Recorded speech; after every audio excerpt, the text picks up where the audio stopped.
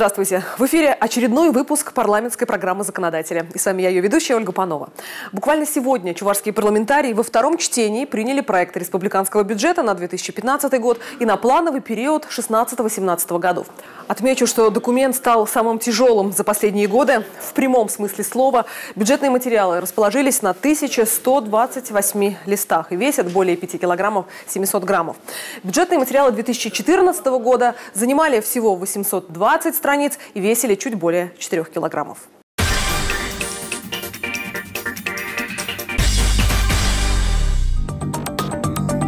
По традиции, бюджет предстоящего трехлетия был сверстан, исходя из наименее благоприятного сценария развития экономики. Несмотря на законопроектный пессимизм, Минфин Республики по ключевым разделам бюджета констатирует рост. По доходам рост 2015 года к первоначальному плану на 2014 год на 963 миллиона рублей. По расходам рост на 1 миллиард 231 миллион рублей. Дефицит увеличивается на 268 миллионов рублей. Необходимо отметить, что собственные доходы республиканского бюджета растут ежегодно более чем 6%, как следствие увеличивается удельный вес собственных доходов с 58,8% в 2014 году до 77% в 2017. Рост собственных доходов республиканского бюджета к 2015 году, к первоначальному плану на 2014 год, на 1 миллиард 709 миллионов рублей или на 8%. Рост собственных доходов республиканского бюджета на 2015 год к уточненному плану 2014, на 2014 год на 1 миллиард 361 миллион рублей.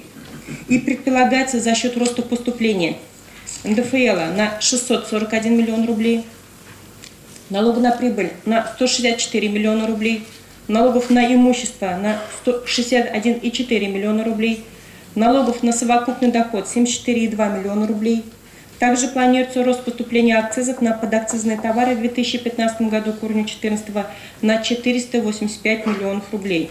Традиционно самыми объемными в структуре расходов республики стали образование с долей в 30%, социальная политика – 20,5%, здравоохранение – 18,7%. Средства пойдут на заработные платы бюджетников, строительство дошкольных учреждений. В бюджете 2015 их заложено 8. Совершенствование оказания специализированной и высокотехнологичной медицинской помощи. К примеру, более чем в 4 раза увеличиваются бюджетные ассигнования на строительство хирургического корпуса онкодиспансера. Существенные средства предусмотренные на возведение фельдшерско-акушерских пунктов в селах республики. Если говорить о проекте бюджета, да, нам принимать такой бюджет никому не легко. Кому легко, учитывая вот сегодняшнее экономическое положение, да. Но я хотел заметить, э, все плотно поработали, и правительство, и депутатский корпус. Нет, сколько раз уже обсуждали. Но, уважаемые, надо жить реально. Желание одно, а действительность другое. Как говорят, жить надо по средствам, поэтому, конечно же, но самое главное, бюджет реальный, но он обеспечит нам э, в следующем году, и прежде всего в следующем году, обеспечит жизнеобеспечение всех слоев населения, прежде всего, будут функционировать школы, садики, больницы, будет ходить транспорт, будет тепло в домах. Это же самое главное. Да, это сначала, и то, и другое сразу не получается. Но если мы хотим жить лучше, давайте лучше работать. В ходе принятия документа в первом чтении, а именно на этом этапе закладываются ключевые основополагающие параметры казны, отдельные парламентарии акцентировали внимание не на расходах, доходах или дефиците, а на государственном долге. Речь даже не о суммах, которые должна республика, а о долговой политике, которую она проводит. Говоря о долговой политике, понятно, что никогда нам денег на то, что мы хотим, а, скажем так, воплотить жизнь, не хватает. Для этого мы должны занимать. И здесь, конечно же, должна быть разумная политика. Чувашская республика в этом плане а, многие годы вела довольно-таки, скажем, такую очень поступательную политику и в соответствии с этим имеет довольно-таки высокие рейтинги да, там, а, среди регионов Российской Федерации. Все относительно в этом мире, поэтому я бы сказал, что это хорошие рейтинги, с одной стороны. С другой стороны, ведь было на самом деле много сделано, если так сказать, инфраструктурных вещей и так далее, что в принципе сказывается на качестве жизни населения. На сегодняшний день мы видим, что капитальные вложения у нас все уменьшается. Я одобряю вот это, скажем, использование так называемых коротких дешевых кредитов, это очень хорошо. Но, к сожалению, вот эта политика за счет коротких кредитов, решения долгосрочных программ, она, как правило, если посмотреть в историю, дает не очень хорошие результаты. То есть долгосрочные проекты реализовывать за счет краткосрочных кредитов невозможно. И поэтому какая-то доля долговой политики, естественно, должна быть разумно распределена именно на долгосрочные привлечения, которые бы четко направлялись на вот именно вот создание таких вот проектов, которые носят долгосрочный характер и улучшают качество жизни населения Чувашской Республики. К разговору о качестве жизни одной из самых незащищенных категорий граждан – пенсионеров. Накануне принятия бюджета во втором чтении в ходе рассмотрения поправок в законопроект было принято решение, которое изначально в документе предусмотрено не было, но уже в ближайший год коснется десятков тысяч жителей Чувашии. Э, речь идет о, то, о чем? О том, чтобы 35 миллионов рублей э, предусмотреть дополнительно для поддержки э, ветеранов Чувашской республики. Эти деньги э, мы берем э, суммы, предназначенные для жилищных субсидий, для государственных служащих. Э, хочу сказать, что думаю, что потерпим в течение одного года. Ничего страшного не произойдет, революции не будет. Хочу сказать, что в 2012 году у нас вот по этой программе 18 госслужащих улучшили жилищные условия, в 2013 году 19, а в этом году 33 человека. Но поскольку экономики ситуация не такая простая, мы решили немного потуже натянуть наши пояса и найти и просто выполнять нормальный режим экономии финансовых ресурсов. Фактически парламентариями был заложен финансовый фундамент под последующее решение о снижении трудового стажа, необходимого для получения звания ветеран труда Чувашской Республики. Глава Чувашии не единожды призывал депутатский корпус включиться в поиск финансовых источников. Депутаты источник нашли. Речь идет о том, чтобы хотя бы на первом следующем этапе э, на два с половиной года сократить стаж, трудовой стаж, необходимый для получения звания ветеран труда Чувашской Республики. Как известно, он сегодня составляет для женщин 40 лет, для мужчин 45 лет. Э, мы предлагаем, э, предполагаем, что эти деньги пойдут на поддержку именно этой категории ветеранов – хотим, чтобы все-таки э, этот стаж был э, уменьшен на 2,5 года, как для мужчин, так и для женщин. Прекрасно понимаем, что этих денег не хватит на весь бюджетный год 2015, это примерно на 2-3 на месяца по нашим расчетам. Но с надеждой на то, что экономика будет лучше работать, Э, что доходную часть бюджета будет средств больше поступать, э, при уточнении бюджета будем дополнительно изыскивать средства для поддержки ветеранов. Сегодня э, разовая выплата, ежемесячная выплата для ветеранов труда, для ветеранов труда Чувашской республики составляет 1082 рубля в месяц. Я думаю, что это существенная поддержка. Есть подсчеты, какое количество человек сможет дополнительно претендовать на эту выплату в связи со снижением на 2,5 года? Это по предварительным подсчетам э, более 10-15 тысяч человек, около 15 тысяч человек. Э, и предварительные расчеты такие, что потребуется средств дополнительно из республиканского бюджета, а именно речь идет о ветеранах труда Чувашской республики, которые по стажу будут получать это звание, 150-160 э, миллионов рублей, вот цена этого вопроса. То есть 35 миллионов мы уже нашли, а в последующем будем изыскивать изыскивать, как нам и поручал глава Чувашской республики, эти средства в республиканском бюджете. На сегодняшний день и Министерство экономики, и Министерство финансов, финансов Чувашской республики занимаются этими расчетами, и мы совместно занимаемся поиском средств. То есть на данный момент пока речи об обнулении каких-то еще статей пока не, пока не идет? А, совершенно верно. Мы в последующем надеемся не на обнуление тех или иных статей, как мы сейчас поступили, а на дополнительное поступление в республиканский бюджет уже появляется основание для дополнительного перераспределения этих денег. Несмотря на всю социальную позитивность принимаемого решения, были и не согласны. Так справоросы настаивали на необходимости направить высвободившиеся средства на субсидии для молодых семей в рамках федеральной целевой программы «Жилище». Однако единороссы уверены, этот путь с точки зрения бюджетных процессов оказался бы менее эффективным. В данном случае надо понимать, что эта программа, она федеральная, которая действует по, по значит, субсидии, скажем так, молодым семьям. И эта программа предусматривает значит, э, софинансирование бюджета еще республики. То есть республика значит, вкладывает столько-то денег, федеральный бюджет дает еще, э, скажем, другую часть денег. А на данном этапе, скажем, федеральная программа, она сверстана, значит, республиканский бюджет уже утвержден. То есть наши деньги, которые мы сегодня туда вложили бы, они э, со стороны федерального бюджета бы дальше не, ну, не софинансировались бы. Да? То есть это получилось бы не совсем эффективное использование денег.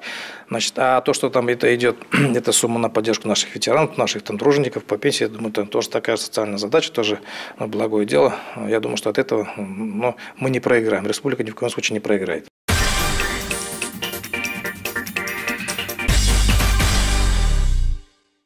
Прошлой программе мы рассказывали о непростой ситуации, которая сложилась в Шумерле. Столбик термометра уверенно ползет вниз, а вот растущие долги города за газ только накаляют обстановку.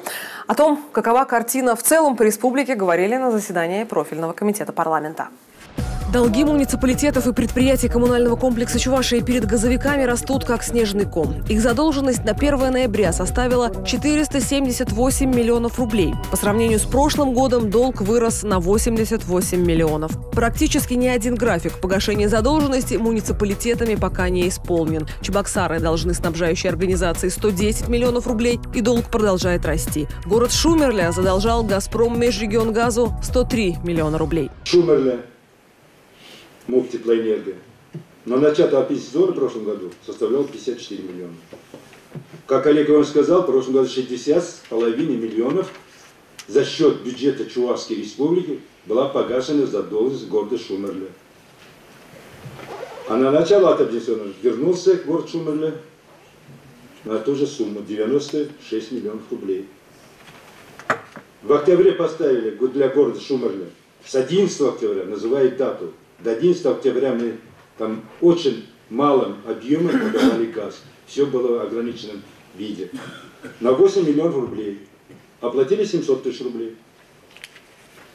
То, что было сказано, э, дату, Иван Борисович, не помню, после вашего поручения, мы наши исполнительные листы все отозвали, все задвижки открыли, они представили график на 7 лет, мы чуть-чуть подправили, и представили, значит, материалы на залог имущества. Школа 61 -го года рождения. Земельный участок 1 гектар 330 соток. Общая сумма вот эта оценена на 53 миллиона. Я предлагаю, Шумер, продайте, пожалуйста, это сами и дайте мне деньги. Я многое время вот за этот период говорил всеми инвесторами, которые могли бы купить этот участок и построить жилые дома в этом участке. Что мне ответил, знаете? А там, говорит, жилье никто не покупает. Руководитель газоснабжающей организации, депутат Госсовета Чувашии Кемидин Мифтахудинов говорит о беспрецедентной ситуации. Фактически, муниципалитеты-должники получили у газовиков беспроцентные кредиты. За последние 10 лет ни одному муниципальному предприятию коммунального комплекса не было выставлено неустойки, штрафных санкций, пения за просрочку оплаты. Предприятие терпит убытки, должники раз за разом срывают прописанные сроки. Я понял так, что люди сами не представляют еще, по какому пути им надо идти и как это надо решить вопрос. Вот где проблема у нас возникает сегодня. И все просят э, с республиканского бюджета это деньги. А другой пример. Скажут, если мы сейчас поможем кому-то выделением денег, Батарева, Комсомольский, Янский скажут, извините, друзья, а почему по газу эти районы надо оказывать помощь, а мы-то чем хуже? Мы же выполняем свои обязательства. Вот это будет несправедливо. Положительная динамика по погашению долгов наблюдается в Канаше и Красноармейском районе. Батревский, Комсомольский, Маргаушский, Чебоксарский, Шамуршинский, Ядринский, Янтиковский и Яльчикский районы за газ не должны. для сведения, 747 котельных у нас. Модернизация котельных необходима и требует порядка 40-50%. Если общие, скажем, финансовые вложения на модернизацию одной котельной в зависимости от э, значит, мощности киловатт достигает от 12 до 30-40 миллионов рублей. Э, вот где-то мы так прикинули. Сейчас, кстати, мы, мы, мы начали заниматься этим вопросом еще в прошлом году. Вы, наверное, в курсе, что мы сделали полный анализ по Алатырю. И, кстати, две котельные сегодня уже по Алатырю э, мы модернизировали и закрыли тему вообще Э, значит, неэффективных котельных. Дальше у нас на перспективе это э, разработано мероприятие по модернизации котельных в городе Ядрине. Ну и сегодня мы, конечно, как я уже отметил, переходим именно по городу Шумерле. Потому что, наверное, приоритет все-таки отдадим э, городу Шумерле, потому что ситуация там действительно складывается очень печальная. И по предварительной оценке, то есть эта цифра, она не до конца, мониторинг сейчас идет, по всем муниципалитетам составит, ну, не менее, наверное, 700, 750 э, миллионов рублей.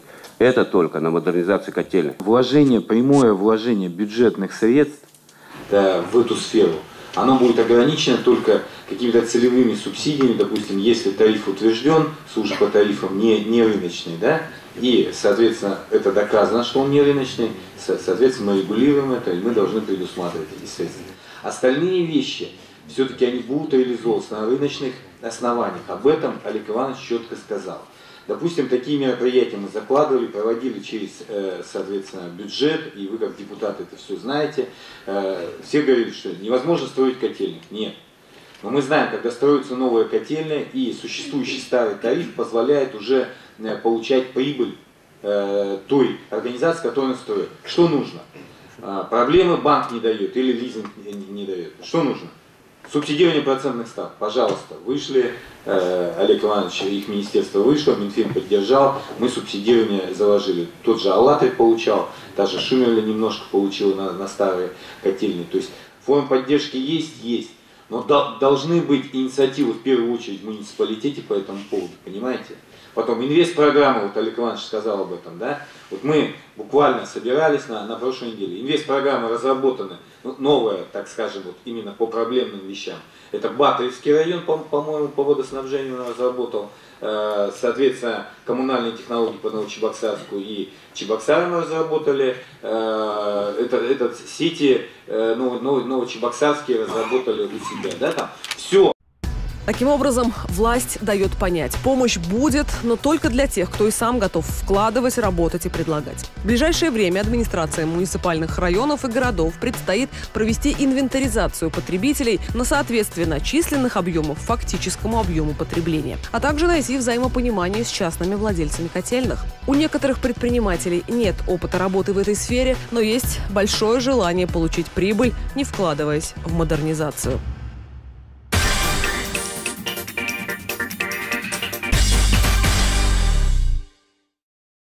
Не так давно члены фракции «Единая Россия» в Госсовете обратились в органы следствия и прокуратуры с ходатайством в поддержку Героя России Евгения Борисова.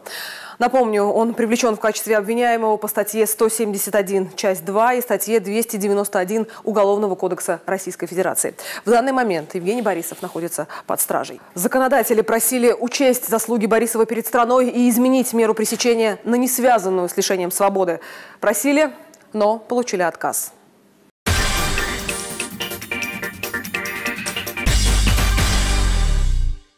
Человек, который воевал, э, инвалид, имеет э, двоих малолетних детей, и его держать по стражу – это преступление, я думаю. Он практически три дня один уходил из преследования, боевики его преследовали. Он тяжело раненый. Уже в конце третьей, третьей сутки он даже ходить не мог. Но в то же время боевики вышли на командование нашей части – и они сказали, заберите своего солдата, он настоящий герой. Вот э, боевики могли оценивать э, его заслуги, а наши мы не можем оценивать. Вот это наша беда. Указом президента Российской Федерации в 2000 году Евгений Борисов удостоен высокого звания Героя Российской Федерации за мужество, проявленное при ликвидации незаконных вооруженных банд формирований в Северо-Кавказском регионе. При выполнении воинского долга он получил тяжелые ранения и признан инвалидом боевых действий. Борисов является единственным гражданином России, проживающим на территории Чувашской Республики, удостоенным столь высокого звания. Кроме того, Евгений Борисов не чужд самому парламенту. В 2009 году он был избран депутатом депутатом Государственного совета Чувашской республики четвертого созыва. Входил в состав Комитета по социальной политике, здравоохранению, физической культуре и спорту.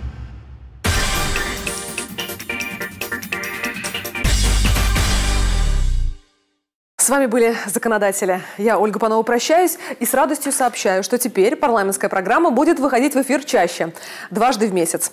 Кроме того, самые актуальные темы и законопроекты мы будем обсуждать еще и на чувашском языке. До встречи на Национальном ТВ.